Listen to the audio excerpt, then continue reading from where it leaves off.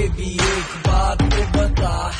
तेरे बारे में सुनी है एक अफवाह हैप्पी बर्थडे